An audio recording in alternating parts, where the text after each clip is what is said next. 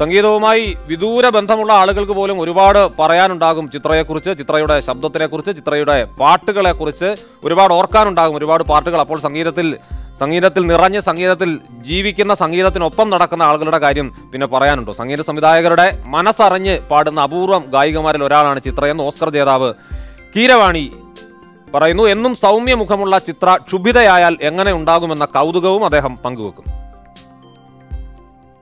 used to admire her voice uh, right from the beginning, her beginning, from Naan Oru Sindhu time.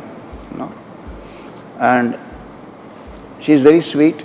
Uh, I fondly call her Kuile. Always smiling, always ple pleasing to everyone. So someday I want to see her shout on somebody. I never see her. கோபம் the pakala. My guru Rajamani used to call her tape recorder. Recorder our nickname. You know? whatever you say, she will repeat, reproducing the mm. tune as per music director's uh, wish. You can see such talent uh, once in 20 years, maybe once in 30 years. I'm looking forward to work with her for many more movies.